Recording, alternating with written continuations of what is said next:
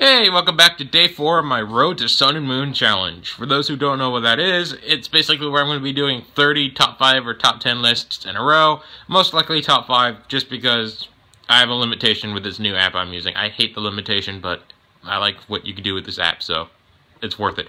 Anyway, Today we're going to be doing my top 5 favorite Sinnoh region Pokemon, or Generation 4. And to be honest with you, this is probably my favorite generation of all of them, just because it had the most features and really cool Pokemon, and I just like how it pretty much updated the game metagame to what it is now. So, it just, it was awesome. I wouldn't say it's my favorite games, but it's just one of my favorite generations. Anyway, um, and also, some of my favorite Pokemon of all time is on this list. Like, legitimately, almost all of them are on my top 10 favorite Pokemon of all time list, except for two of them. But, let's move on, alright? Let's get to number 5 right now, and that is Infernape. The Fire Monkey Pokemon, or whatever you want to call it.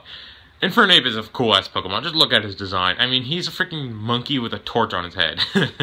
no, but uh, the reason why I love him is mainly because of the anime.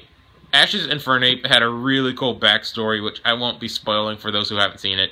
If you want to check it out, please check out this Diamond and Pearl anime. It's not, it's a little cheesy, but it does have some good moments. Um, and that's honestly the only reason why he's at number five on this list is because I just loved how Ash's Infernape was portrayed or portrayed in that anime. Like it was a sad story, and uh, I loved it. um, I do like how he was in the games. I used him like once or twice, but honestly, in the games, I think it's slightly overrated compared to Empoleon, who's my personal favorite out of the starters. The only reason why not on this list is because Infernape beat it just because of the anime. Plus, Empoleon wasn't really shown in the anime too much, which kind of sucked because I loved the design of that Pokemon from day one. I mean, it's a penguin with a freaking trident on his head. What's cooler than that? Plus, a steel typing? Ugh. You get the point. um, anyway, that's the whole reason why I love Infernape. It's just because how he was portrayed in the anime. It was a fantastic story. Um, anyway, let's move on to number four. Now, on the last list I said I loved Gardevoir, and that's true because at number four is Gallade, which is the male counterpart. Gallade are exclusively 100% male Pokemon, so when I say him, I actually mean it this time. And in order to get a, a Gallade, you have to evolve a male Kirlia using a Dawnstone. But this awesome fire, sorry, no, psychic fighting type is absolutely one of the best Pokemon in the game. It learns so many great moves like Leaf, Blade, Night Slash. He can learn like Zen Headbutt. He can learn so many moves that can help him cover so many types. It's just such a good Pokemon. Plus, I love the design. The only thing I don't like though is that how his like crotch area. I know I'm saying this, it's weird.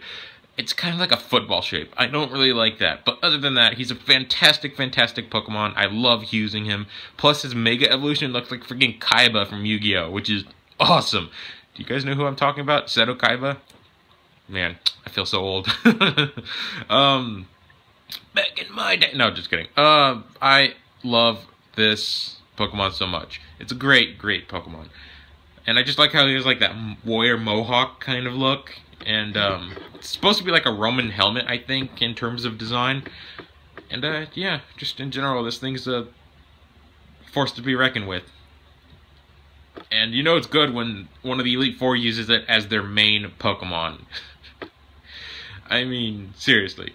I just noticed all these Pokemon are some way used in the Elite Four and Champion teams. It's kind of weird. I did not that was just a coincidence too.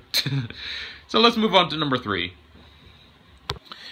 Next up on the list is a bit of a surprising one, and that is Roserade. I don't know why I love this Pokemon so much. I think it's mainly because I always usually use it when I do a playthrough of Pokemon Platinum and not use Torterra. It can learn some pretty good moves like um, Energy Ball, Poison Bomb, Sludge Bomb. Sorry, I got mixed up with the name for a second.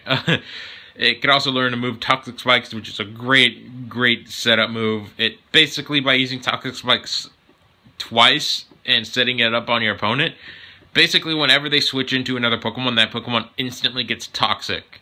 By doing it once, it's just Poison, but Toxic is a little bit different because it's a status condition known as Badly Poison, which basically means that Pokemon only has a few turns to live. No matter what they do, they'll die in a few turns no matter what. Normal Poison just does a select a specific number of damage.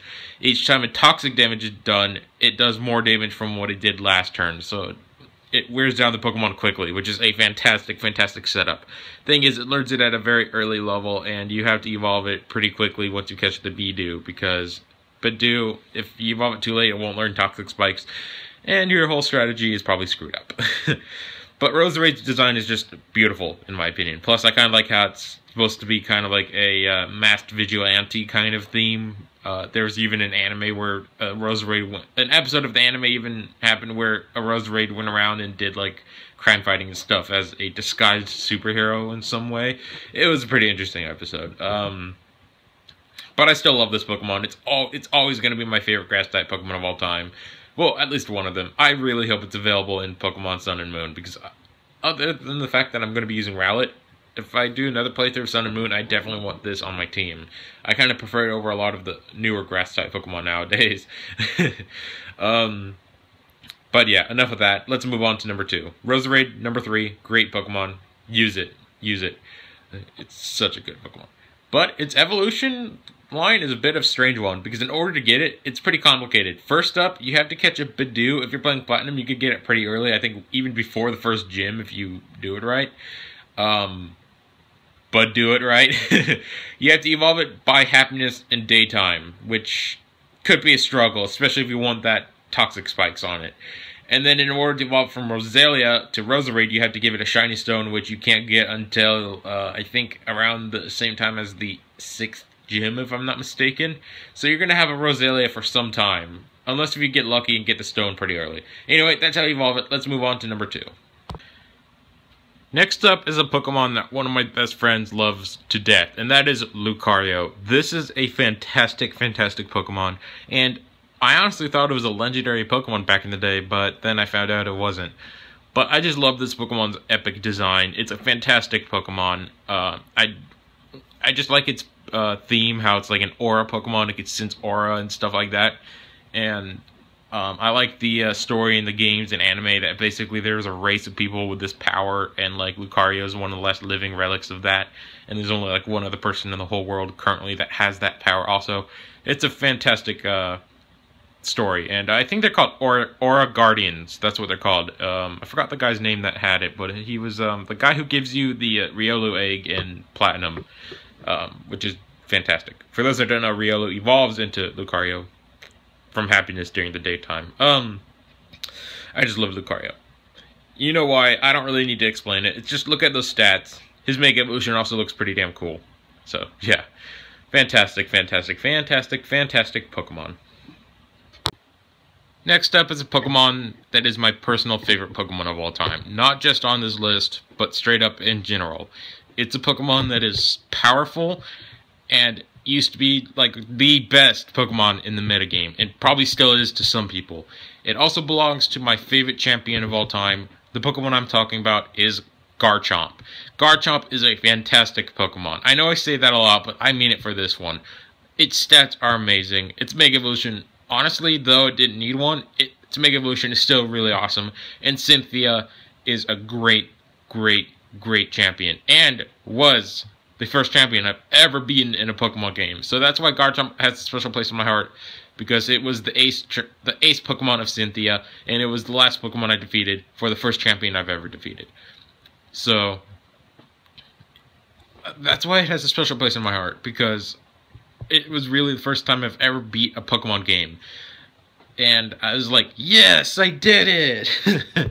it was a great accomplishment in my opinion, and Garchomp for that reason is a special Pokemon in my heart, and I love using it in games. It's a great Pokemon. Like, give this thing some good move sets. I personally go with like Earthquake, Dragon Claw, um, and the other two moves are usually different each time, but sometimes Crunch for stab and not stab, but for like coverage and other reasons. And I usually go with like a, a uh, coverage, another coverage move for my last one, like maybe Flamethrower to get rid of ice types, because Garchomp is a pretty quick Pokemon, so it could deal with slower Pokemon pretty easily. When you're playing metagame, give this thing Iron Head. It's a great move. It's a steel type move, 100% accuracy, or maybe 90%, and it could deal with fairy types very easily. Anyway, Garchomp's number one. Love it to death. Gotta go, guys. Hope you enjoyed this episode. See you guys tomorrow. Peace.